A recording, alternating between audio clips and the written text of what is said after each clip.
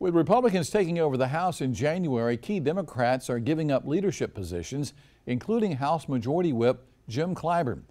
This afternoon, Clyburn thanked his colleagues and talked about others who could possibly lead the party into the future. He mentioned Hakeem Jeffries, Katherine Clark, and Pete Aguilar.